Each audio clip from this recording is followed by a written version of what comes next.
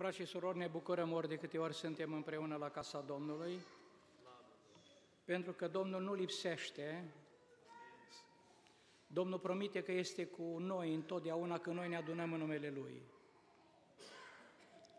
E foarte important însă aici să fim și cu inima deschisă. Ferice de cel care citește, de cel ce ascultă și de cel ce împlinește cuvintele acestei cărți, acestei prorocii, căci vremea este aproape. Când venim aici și suntem conștienți că Domnul e prezent, exact cum spunea Cornelie lui Petru, în capitolul 10, versetul 33 din fapte. Când o intra Petru în casa lui Cornelie, Cornelie a spus, acum dar toți suntem aici înaintea lui Dumnezeu, ca să ascultăm tot ce ți-a poruncit Domnul să ne spui. Domnul și-a ales în planul lui o familie, un popor care să laude pe Dumnezeu și poporul acesta nu l-a onorat așa cum el o dorit. Ne spune în cartea Exodului de bunoară, în capitolul 19, cu privire la această chemare a lui Israel. Auziți ce cuvinte frumoase, versetul 5 și 6 din capitolul 19 din Exod. Acum, dacă veți asculta glasul meu și dacă veți păzi legământul meu, veți fi ai mei dintre toate popoarele, că toți, căci tot pământul este al meu. Îmi veți fi o împărăție de preot și un neam sfânt. Acestea sunt cuvintele pe care le vei spune copiilor lui Israel. Israelul însă nu a ascultat. Și ne spune Biblia, Cartea Sfântă, că la un moment dat Dumnezeu l-a lepădat și în Matei, capitolul 21, versetul 43, ne spune Cartea Sfântă foarte frumos în această direcție, vis-a-vis de un alt plan pe care Domnul sigur și l-a făcut din veșnicie, pentru că toate lucrurile au fost anticipate și prevăzute de acest mare Dumnezeu. Capitolul 21, Matei, versetul 43. De aceea vă spun că împărăția lui Dumnezeu va fi luată de la voi și va fi dată unui neam care va aduce roadele cuvenite, pentru că nu a adus roadele cuvenite. Dumnezeu le păda și a ales un alt popor, biserica lui. Și a ales biserica care să-L reprezinte pe Dumnezeu în lumea aceasta. Chemarea lui Israel era să-L reprezinte pe Dumnezeu, chemarea noastră este să-L reprezentăm pe Dumnezeu cu demnitate. Domnul Iisus, în chemarea pe care a avut-o, pentru că a avut și El o chemare, în chemarea Lui era să-L reprezinte pe Tatăl, pe Cel prea înalt, pe Dumnezeu, care nu poate fi văzut. Despre Dumnezeu spune că niciun om nu l-a văzut și nici nu-l poate vedea și care are slava și cinstea veșnică. Despre acest Dumnezeu spune Biblia în cartea lui Isaia, în capitolul 33, versetul 14 și 15. Păcătoșii sunt îngroziți în Sion, un tremur a apucat pe cei nelegiuiți, care zic, cine din noi va putea să rămână lângă un foc mistuitor? Cine din noi va putea să rămână lângă niște flăcări veșnice?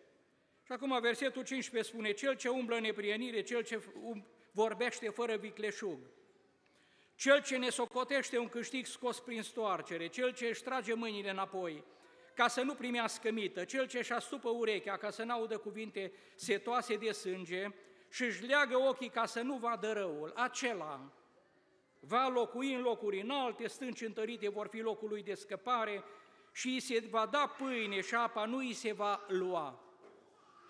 Despre acest Dumnezeu mare ne spune Biblia în Luca, în capitolul 10, Spune aici, printre altele, foarte frumos, versetul 18, Iisus le-a zis, am văzut pe satana căzând din cer ca un fulger. Iată că v-am dat putere să călcați peste șer, peste scorpioni, peste toată puterea vrăjmașului și nimic nu vă va putea vătăma. Totuși să nu vă bucurați de faptul că duhurile vă sunt supuse, ci bucurați-vă că numele voastre sunt scrise în ceruri. Cea mai mare binecuvântare, să ai numele scris în ceruri. Și Biblia spune că există o carte a vieții, unde numele sunt scrise acolo, a mântuiților, înainte de a fi fost întemeiată lumea, înainte din veșnicii. Înainte de veșnicii, chiar consemnează Biblia. Versetul 21 spune, în ceasul acela Iisus s-a bucurat în Duhul Sfânt și a zis, Tată, Doamne, al cerului și al pământului te laud, pentru că ai ascuns aceste lucruri de cei înțelepți și pricepuți și le-ai descoperit pruncilor, da, tată, te laud, fiindcă așa ai găsit tu cu cale. Și acum versetul 22. Toate lucrurile mi-au fost date în mâini de tatăl meu și nimeni nu știe cine este fiul afară de tatăl, nici cine este tatăl afară de fiul și acela căruia vrea fiul să îl descopere. Nimeni nu știe cine este Dumnezeu decât fiul, în adevăratul sens al cuvântului.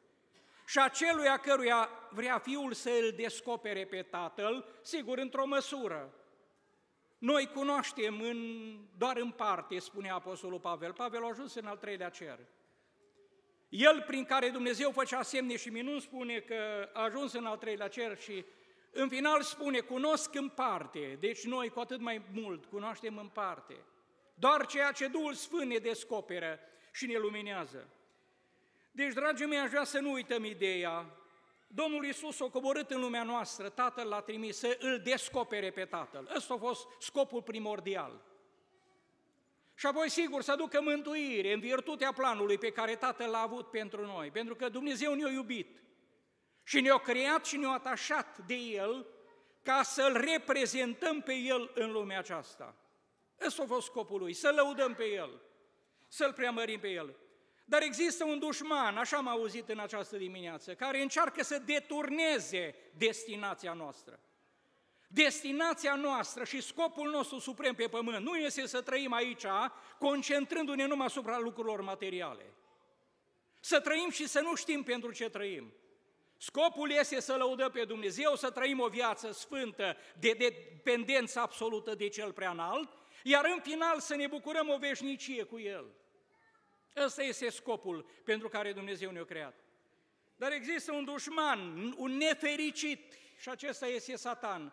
Așa se spune aici. Și am înțeles și uitați ce spune aici în 1 Timotei, în capitolul 6. Spune printre altele, versetul 11, iar tu, om al lui Dumnezeu, fugi de aceste lucruri. În viața aceasta trebuie să fugi. Fugi de aceste lucruri, caută neprihănirea, evlavia, credința, dragostea, răbdarea, blândețea. Spune versetul 12, luptă-te lupta cea bună a credinței, apucă viața veșnică la care ai fost chemat și pentru care ai făcut acea frumoasă mărturisire înaintea multor martori. Luptă-te lupta cea bună a credinței. Viața aceasta, să știți, este o luptă. O luptă însă nu fără sens și nu fără rânduială, după rânduială. E o luptă. Și numai cel care se luptă după rânduială, în final va fi încununat de biruință. În, în Efeseni, Apostolul Pavel, acolo în capitolul 6, ne-a arătat, am înțeles, cu cine avem noi de luptat. Nu avem de luptat împotriva cărnii și sângelui, ci împotriva căpeteniilor, domniilor, împotriva stăpânitorilor întunericului acestui viac, împotriva duhurilor răutății care sunt în locurile cerești. Dar vedeți, avem armătura pe care Dumnezeu ne-a dat-o, este tot din cer de la Dumnezeu cu care trebuie să ne luptăm, nu e de pe pământ. Chemarea este din cer și armătura este tot din cer. Dar uitați ce frumos vorbește Pavel aici în Efeseni, în capitolul 1, versetul 2 și 3. Binecuvântat să fie Dumnezeu Tatăl Domnului nostru Isus Hristos, care ne-a binecuvântat cu tot felul de binecuvântări duhovnicești, în locurile cerești în Hristos. Biserica este într-un loc ceresc. Durile necurate sunt tot în locuri cerești. Și de aceea diavolul vrea să ne coboare, să luptă, e lupta aceasta în care Dumnezeu vine în ajutorul nostru cu armătura, să avem biruință și să rămânem biruitori. Spune aici, versetul 4, foarte frumos, în El Dumnezeu ne-a ales înainte de întemeierea lumii, ca să fim sfinți și fără prihană înaintea Lui. După ce în dragostea Lui ne-a rânduit mai dinainte, ca să fim înfiați prin Isus Hristos, după buna plăcere a voiei sale. Versetul 7 spune, în El avem, în Domnul Isus avem răscumpărarea, prin sângele Lui iertarea păcatelor, după bogățiile Harului Său. Deci să nu uităm, dragii mei, noi suntem în locurile cerești. Diavolul și el este în locul acesta ceresc. Ce vom fi? Nu s-a arătat încă. Atunci când va veni El, vom fi ca El, atunci vom fi acolo. Dar acum biserica are locul, locul acesta. Așa spune aici, la prezentul, la prezent, nu la viitor. ne-a binecuvântat cu tot felul de binecuvântări duovnicești în locurile cerești. Versetul 6 din capitolul 2 din Efeseni spune, El ne-a înviat împreună și ne-a pus deja să ședem împreună locurile cerești în Hristos. Diavolul însă să luptă și dorința lui este să ne coboare din acest loc ceresc. Să ne ducă iară acolo de unde am căzut, de unde ne-a scos Domnul Isus Hristos. Și aici este toată lupta în viața aceasta scurtă și trecătoare. Acum eu o să mă opresc la câteva lucruri, cerințe din textul care a fost citit din cartea lui Iacov. Ca să putem rămâne aici, sigur, e nevoie de armătură. Dar în Evrei, în capitolul 3, întăresc din nou ideea aceasta, spune așa versetul 1, de aceea, frați ființi care aveți parte de chemarea cerească, chemarea este extraordinară, să fim ca și El în ziua aceea. Aici să fim copii al lui Dumnezeu, chiar dacă în lumea nu ne cunoaște, dar suntem. Aici să lăudăm, să-L binecuvântăm în toate împrejurările vieții, nu numai când ne merge bine. Aici să-L binecuvântăm, să-L onorăm, știind că viața aceasta este trecătoare. De aceea, frați sfinți care aveți parte de chemarea cerească, ațintiți-vă, spune privirile la apostolul și la marele preot al mărturisinii noastre, adică la Isus. Tot timpul trebuie să fim cu privirea îndreptată la Domnul Isus. Chemarea Domnului Isus a fost chemarea noastră într-un fel.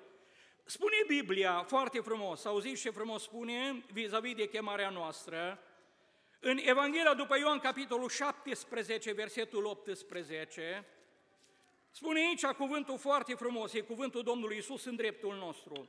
Cum, m-a trimis, cum ai trimis tu pe mine în lume, așa i-am trimis și eu pe ei în lume. Tatăl o trimis pe Domnul Isus în lume să-L reprezinte pe Tatăl. Să trăiască o viață absolută și să-L biruiască pe cel rău. Și acum spune, cum ai trimis tu pe mine, așa ai trimis și eu pe ei în lume. Care e scopul pentru care ne trimite Domnul pe noi? Ne trimite ca să îl reprezentăm pe Domnul Isus. Și biruința pe care a avut-o Domnul să o avem și noi. Nu ne-o chema Domnul la înfrângere, să fim aici niște oameni debusolați și dezorientați.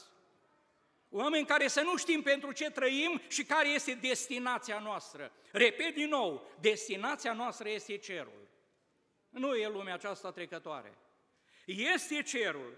Și acum în textul care a fost citit aici foarte frumos, Biblia ne spune, versetul 13, de aceea, Încingeți-vă coapsele minții voastre, spune în Petru, fiți treji, versetul 13 din capitolul 1, și puneți-vă toată nădejdea harul care vă va fi adus la arătarea lui Isus Hristos.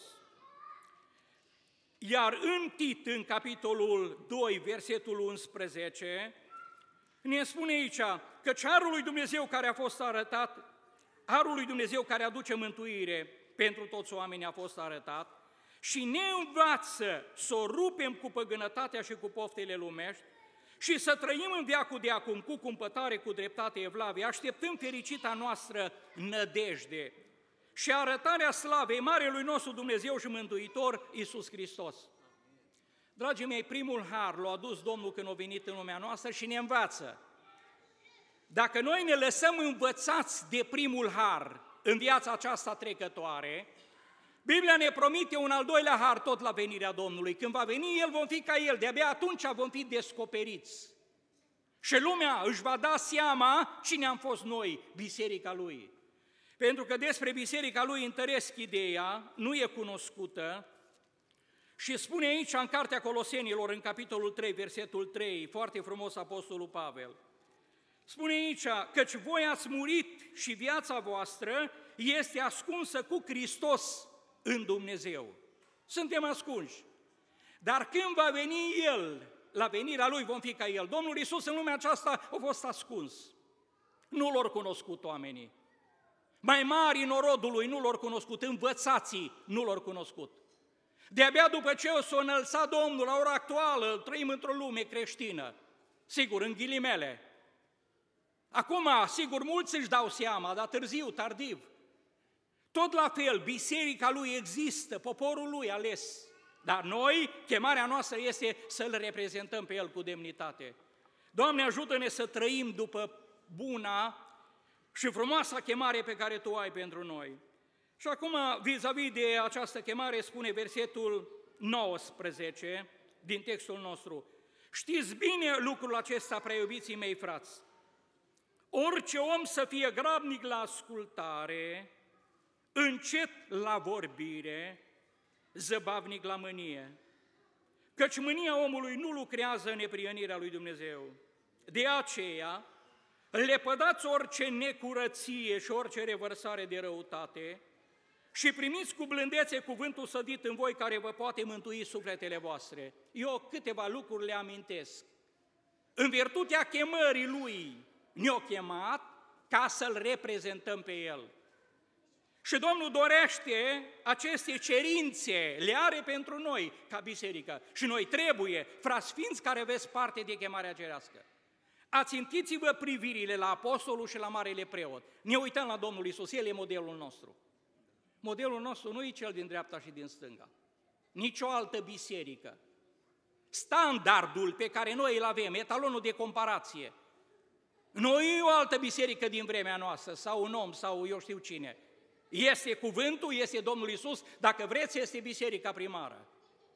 Și chiar la biserica primară, spune Biblia, uitați-vă la sfârșitul felului lor de vețuire și urmați-le credința. Acum amintesc numai ceva, pentru că am zis de biserica primară, uitați numai ce spune Biblia aici în Faptele Apostolilor, în capitolul 5. Uitați cum era biserica primară și să ne analizăm noi cum suntem. Zice aici versetul 12 și 13 din capitolul 5. Prin mâinile apostolilor se făceau multe semne și minuni în orod. Toți stăteau împreună în privorul lui Solomon și niciunul din ceilalți nu cuteza să se lipească de ei, dar norodul îi lăuda în gura mare. Extraordinar. Minuni semne și nimeni nu cuteza să se lipească de biserică, văzând sfințenia, standardul înalt, moral și spiritual. Până la ora actuală sunt persoane nenăscute din nou, care intră în rândul unei biserici locale și care nu fac altceva decât să slăbească puterea bisericii. Ce standard, ce, ce lucrări erau în vremea aceea. Spune aici, pentru că e tot vorba de acest standard înalt, un etalon de comparație, fapte 9, versetul 31. Biserica se bucura de pace în toată Iudeea, Galileea și Samaria, se întărea sufletește, umbla în frica Domnului, biserica nu e statică, nu sunt pereții aceștia. Biserica suntem noi. Biserica suntem noi, sufletele mântuite, născute din nou, în care Domnul e prezent și în care El vrea să locuiască, noi știm. Casa lui Dumnezeu suntem noi. Dacă păstrăm până la sfârșit încrederea nezguduită și nădejdea cu care noi ne lăudăm. Ce frumos, ce standard înalt! Biserica se bucura de pace, se întărea sufletește, umbla în frica Domnului și cu ajutorul Duhului Sfânt se înmulțea.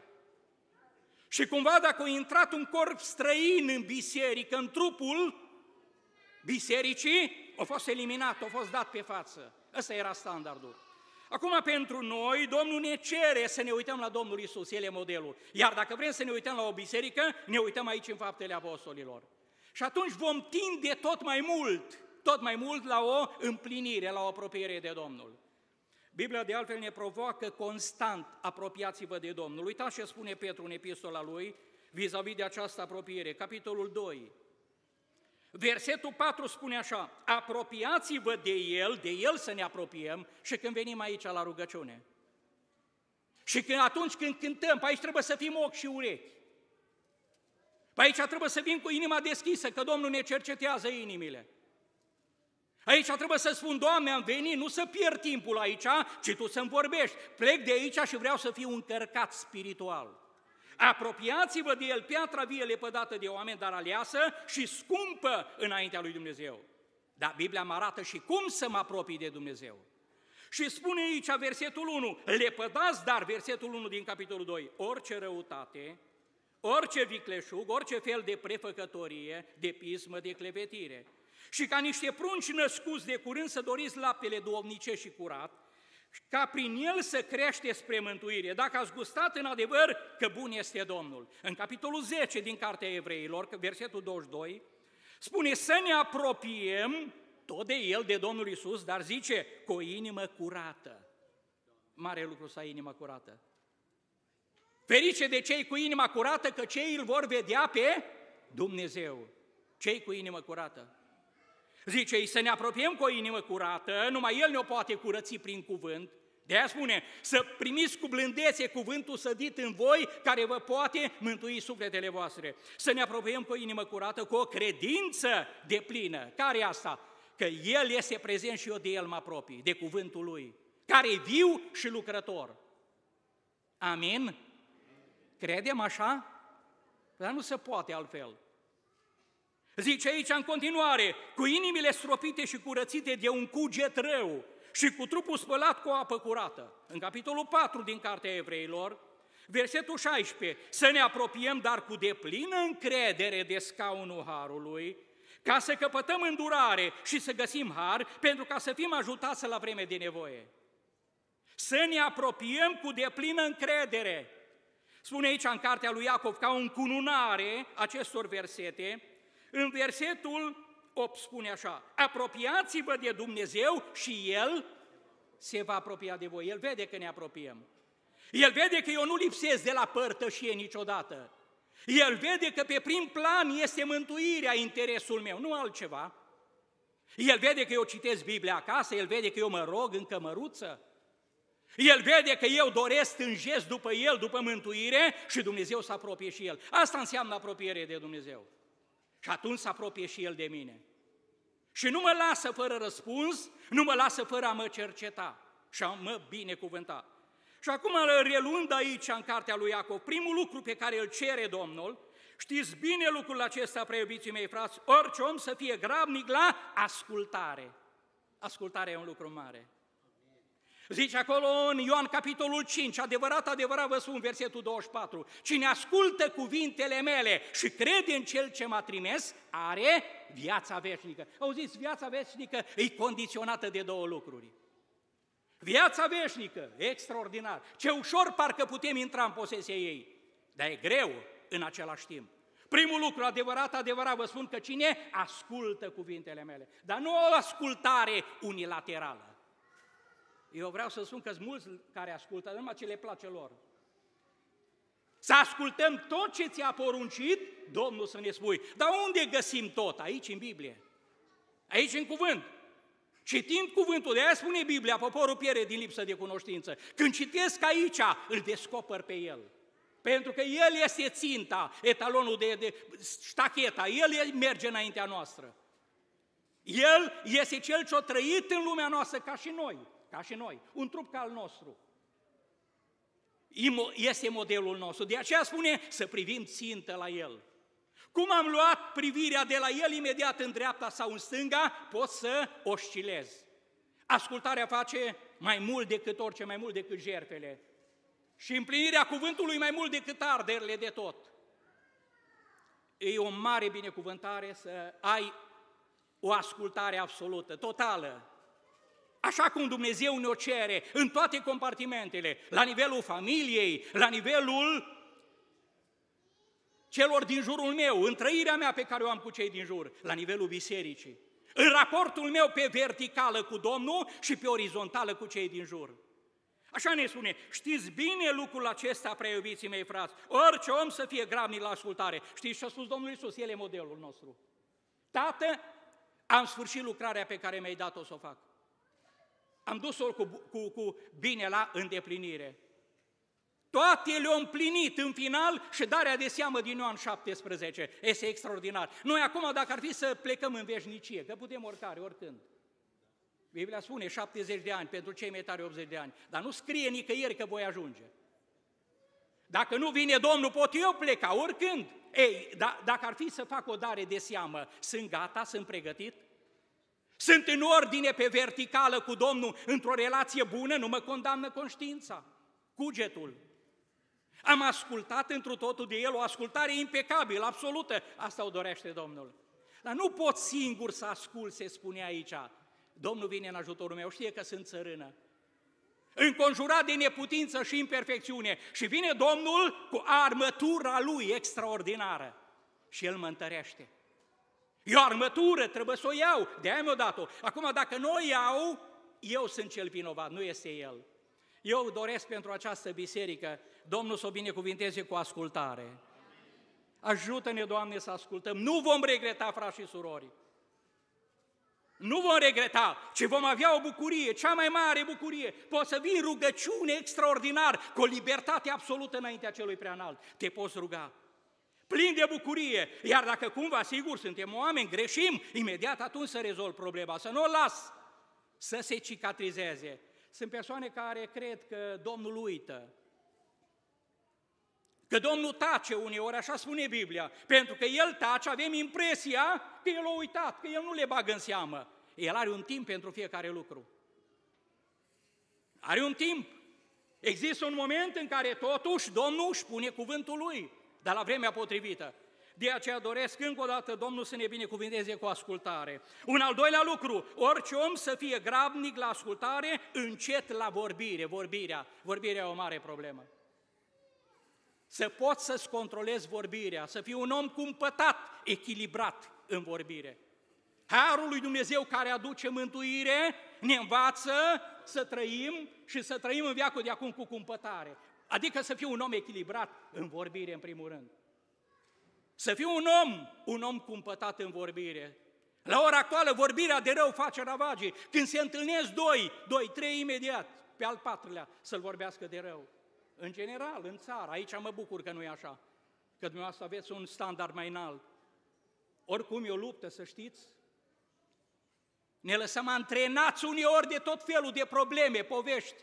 Nu, pe Domnul, modelul el. Nu-l găsim odată făcând vreo aluzie la Imperiul Roman. La stăpânirea care era. Și el era stăpân, era, era tot puternic. Și nimic absolut. Ținta lui era una singură, să ducă la îndeplinire planul și lucrarea care i-a fost încredințată. Ce frumos! Biblia vorbește mult despre vorbire. Auziți numai, citim ceva din Evanghelia după Matei.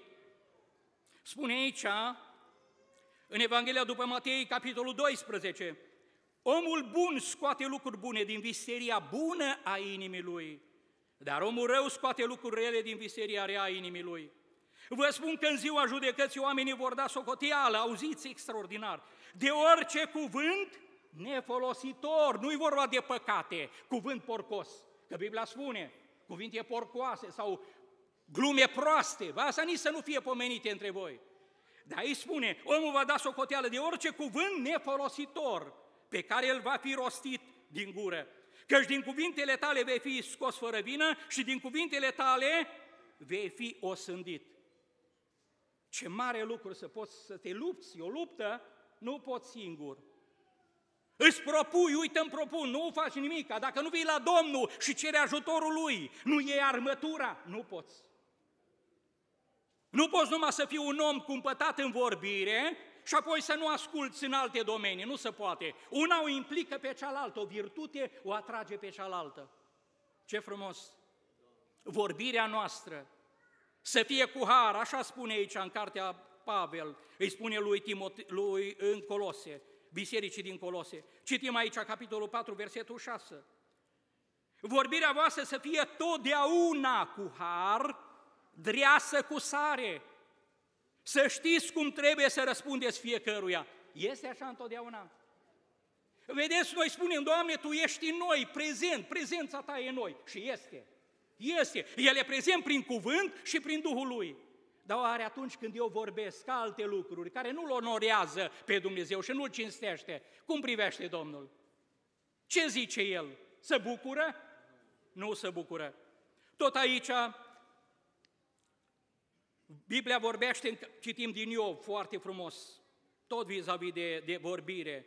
Știm cine a fost Iov și viața lui, și în capitolul 31, uitați ce frumos spune aici, din cartea lui Iov, versetul 1, zice Iov aici, printre altele, făcusem un legământ cu ochii mei și nu mi-aș fi oprit privirea asupra unei fecioare. Și apoi, în versetul 30, eu care n-am dat voie limbii mele să păcătuiască, eu care n-am dat voie limbii mele să păgăduiască. Păi nu poți ochii, sunt legate una de alta. Ochii pot controla dacă îmi controlezi și vorbirea. Îmi pot controla vorbirea dacă îmi controlez și inima și sentimentele și resentimentele. Toate sunt legate, nu pot spune într-un compartiment sunt la superlativ, sus, și într-un altul sunt undeva jos, nu. Ele merg mână în mână, legate una de alta. Știți ce spune Habacuc printre altele? Capitolul 1, versetul 13. Citim aici în Habacuc. Despre Domnul, spune aici, El este sigur modelul nostru. Capitolul 1, versetul 13. Ochii tăi sunt așa de curați că nu poți să vadă răul, nu poți să privești nelegiuirea. Dumnezeu nu poate să privească răul. Cum privește El la mine? Cum privește El la mine? Atunci, sigur, când eu dau voie limbii mele să păcătuiască, când vorbesc ușuratic, când judec. Eu am găsit ceva de bunoară și am dat și în altă parte exemplul acesta din uh, Cartea Numerilor. Știți că Maria și Aron lor vorbit de rău pe Moise, fratele lor. Biblia spune foarte interesant, în uh, Cartea Psalmilor, spune la un moment dat aici, în capitolul 50, versetul 16, Dumnezeu zice însă celui rău. Dar care e cel rău? Ce tot înșir tu legile mele? Și ai în gură legământul meu când tu urăști mustrările și arunci cuvintele mele înapoi a ta. Dai drumul gurii la rău și limba ta urzește vicleșuguri. Stai și vorbești împotriva fratelui tău și vorbești, pe, clevetești pe fiul mamei tale. Iată ce ai făcut. Pe fratele tău, pe cel din casă poate. Iată ce ai făcut și eu am tăcut. Ți-ai închipuit că și eu sunt ca tine, dar te voi mustra și îți voi pune totul sub ochi. Maria și Aron și ei lor vorbit pe Moise de rău. Moise însă era cel mai blând om. Îmi place această subliniere. Constatarea lui Dumnezeu, nu a oamenilor. A oamenilor și a fraților lui, Moise ca noi, nu-i cu nimic mai deosebit decât noi. Dumnezeu însă o zis, Moise îi cel mai blând om. Ce frumos să spună și despre noi așa Domnul. Dar Moise nu s-a apărat, aici e frumusețea. Omul lui Dumnezeu nu s-a apără. Și când aude, dar nu aude. Eu zic mereu, la ora, Biblia spune, unul din păcate, zice, în vremea din urmă oamenii vor fi șoptitori. Șoptitori, e un păcat. Șoptește așa, dar șoptește în așa manieră încât să auzi și tu. Dar ce frumos că tu nu auzi totuși. Știți ce spune în Psalmul 42? Citim. În Isaia 42, rectific. Spune aici în Isaia 42, Zice așa, cine este orb dacă nu robul meu și surd ca solul meu? Ei, Domnul Isus, despre el vorbește aici. Pe care îl trimit. Cine este orb ca prietenul lui Dumnezeu și orb ca robul Domnului? Ai văzut multe, dar n-ai luat seama la ele. Ai deschis urechile, dar n-ai auzit. Ce frumos! Cuvintele noastre să fie cuvinte articulate, pentru că Maria a vorbit cu Aron, Domnul i-a chemat la judecată. Și aici, în Cartea Numerilor, arată și consecințele Zice, Domnul s-a aprins de mânie împotriva lor și a plecat. Înainte le zice, cum v-ați încumetat să vorbiți împotriva robului meu Moise, versetul 8. Versetul 9. Domnul s-a aprins de mânie împotriva lor și a plecat. Un al doilea lucru, norul s-a depărtat de pe corp. Prezența Domnului. Nu mai simți bucurie, nu mai simți cercetare, nu mai te poți ruga. Mă rog și nu mai simt cercetarea și parcă nu știu ce să fac. Uneori cer ajutor de la biserică. Vin la biserică, nu se rezolvă problema așa. Trebuie eu să mă căiesc și să recunosc, să-mi cer iertare. Dacă cumva am greșit față de Domnul, să-i cer lui iertare. Dacă am greșit pe orizontală, trebuie să încerc pe orizontală. Uneori ne rugăm pe verticală, cerem iertare și nu rezolvăm problema. Pentru că ce, trebuie să o rezolvăm cu fratele nostru, vis-a-vis de cel pe care, sigur, l-am lezat, i-am cauzat o rană. Un al treilea lucru, spune Maria, era plină de lepră. Și un al patrulea lucru, o patra consecință a vorbirii de rău, a clevetirii. Maria a fost închisă șapte zile afară din tabără, poporul n-a pornit, nu a mers înainte, până ce n-a intrat ea din nou în tabără. După aceea au plecat. Uneori poate și o biserică locală să stea pe loc, să bată pasul și să nu înainteze spiritual, din pricina unor lucruri care nu sunt eliminate și nu sunt date la o parte. Eu pentru biserica aceasta mă bucur și doresc din inimă Domnul să vă binecuvinteze. Doamne, întărește-ne și ajută-ne să fim mai tăi. Ce frumos spune aici Iacov. Orice om, zice, știm bine lucrul acesta, preiubiții mei, frați, orice om să fie gravnic la ascultare, încet la vorbire, să aibă o vorbire articulată, să aibă o vorbire biblică. Cine vorbește să vorbească cuvintele lui Dumnezeu. Vorbiți între voi, nu tăceți, dar cu psalmi, cu cântări de laudă, cu cântări duovnicești. Când doi se adună împreună să vorbească de lucrările lui Dumnezeu, de măreția lui, de isprăvile lui, de ce a lucrat el, atunci Domnul binecuvintează. E, un al treilea lucru pe care îl găsim aici, zice, încet la vorbire, zăbavnic la mânie. Zăbavnic la mânie. Mânia omului nu lucrează neprienirea lui Dumnezeu. Mânia nu aduce lucruri bune. Regres după aia, îți pare rău, dar nu mai poți întoarce timpul înapoi. Mânie, duh de mânie, iuțime, aia trebuie să vii numai, numai Domnul te poate corija, te poate îndrepta. Noi trebuie să venim neapărat la El, să-i cerem îndurare, dar recunoscându-mă, plâng înaintea Lui, Doamne, nu sunt în ordine. Doamne, Tu vezi starea mea. Frați și surori, cu aceste stări de aici nu se poate intra în împărăție, să știți. Noi de multe ori parcă încercăm așa să ne legănăm. Știți, acum ne uităm la Israel, dintr-o națiune, doi ori intrat în Canaan. Domnul i-a lepădat, tot mereu le-a spus. Dar ne spune și nouă, mulți chemați, puțini aleși. Doamne, vrem să fim printre cei aleși. Domnul gata să, ne, să facem parte în contextul în care și eu îmi dau străduințele, silințele, zăbavnic la mânie. Zice aici în continuare un alt lucru, un al patrulea, zice, lepădați orice necurăție și orice revărsare de răutate, necurăție. Aia înseamnă neprienire, stare de neprienire. Știți ce spune în Psalmul 119, versetul 37? Doamne, ajută-mă, fă să trăiesc în neprihănirea cerută de tine. Cum are Dumnezeu o neprienire cerută? Da, și oamenii în anumite locuri au o neprienire care o cer, o pretind. Anumite standarde. Dar acolo spune neprienirea cerută de tine. Ce frumos! Psalmul 101, versetul 3, spune acolo, e foarte frumos, nu voi pune nimic rău înaintea mea, înaintea ochilor mei.